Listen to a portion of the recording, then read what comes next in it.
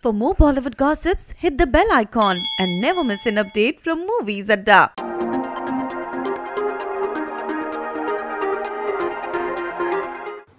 के टिट्टू की स्वीटी के बाद कार्तिक आर्यन की किस्मत बदल गई है। रातों रात वो बी टाउन के नए चॉकलेट बॉय बन चुके हैं और उनकी अपॉइंटमेंट डायरी देखते ही देखते भरने लगी। इस फ़िल्म के बाद कार्तिक ने लुका छुपी में भी काम किया और इन दिनों वो सारा अली खान के साथ लव आजकल टू की शूटिंग में बिज़ी है। इसी साल दिसंबर में कार्तिक की फ़िल्म पति पत्नी और वो रिलीज़ होगी और फिर अगले साल फरवरी में उनकी और सारा की film Love Aajkal two release होगी। इसके बाद 2020 में उनकी फ़िल्म दोस्ताना टू भी रिलीज़ होने वाली है। इसके अलावा कार्तिक ने भूल भुलैया टू को भी साइन किया। इस फ़िल्म को अनीस बजमी डायरेक्ट करने वाले हैं। इसके अलावा कार्तिक अनीस के साथ एक और कॉलेज रोमांस के लिए भी टीम अप करने वाले हैं। इस फ़िल्म में उनकी लीडिंग लेडी होंगी दिशा पाटनी। ये फ़िल्म 2019 के आखिरी क्वार्टर तक फ्लोर पे जाने वाली है। पर अब जो अक्टूबर में कार्तिक दोस्ताना टू की शूटिंग में बिज़ी हो जाएँगे और फिर भूल भुलैया टू की शूटिंग भी किक स्टार्ट हो जाएगी तो उनकी किट्टी में